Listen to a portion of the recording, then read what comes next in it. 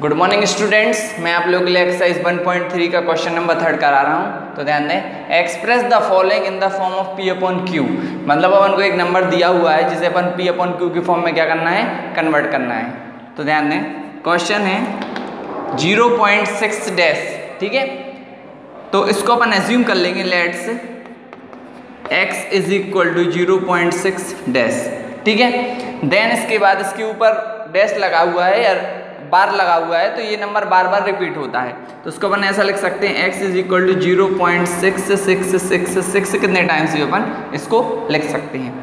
ठीक है, अब ध्यान दें, इसमें ओनली वन डिजिट के ऊपर बार लगा हुआ था। ठीक है, इसीलिए दोनों साइड किसका मल्टीप्लाई करेंगे? टेन का। अगर टू डिजिट के ऊपर लगा होता तो हंड्रेड का, और अगर थ्री डिजिट के ऊपर लगा होता तो वन थाउज़ेंड का मल्टीप्लाई करेंगे।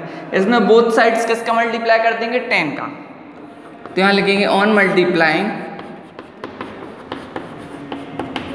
ten on both sides ठीक है? दोनों साइड अपन इसका मल्टीप्लाई कर देंगे टेन का। तो यहाँ आएगा ten multiply x is equal to ten multiply zero point six six six six ठीक है? तो यहाँ हो जाएगा ten x is equal to six point six six six एक बार डेसिमल शिफ्ट हो जाएगा क्योंकि मल्टीप्लाई टेन का हो रहा है। अब यहाँ ten x as it is रहेगा। Ten x is equal to six plus zero point six six six. ठीक है? अपन ने इसको अलग लिखा और इसको अलग लिखा। अब ये बार बार रिपीट हो रहा है तो इसको अपन एज इट इज़ ऐसा लिख सकते हैं, जैसा क्वेश्चन था, ज़ीरो पॉइंट सिक्स बार या डैश ठीक है? क्योंकि ये बार बार रिपीट हो रहा है और उसको अपन ने क्या ज्यूम किया था? एक्स तो इसके प्लेस पर अपन क्या पुटअप कर सकते हैं? एक्स ठीक है?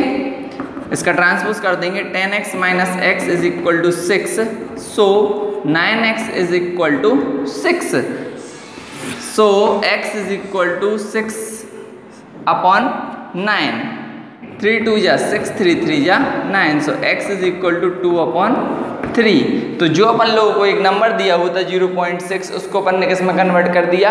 अपॉन में मतलब पी अपॉन क्यू के फॉर्म में, टू अपॉन थ्री के फॉर्म में अपन ने इसको क्या कर दिया है? कन्वर्ट कर दिया है। मतलब इसका आंसर क्या होगा? टू अपॉन थ्री क्योंकि पी अपॉन क्यू का फॉर्म है, ठीक है?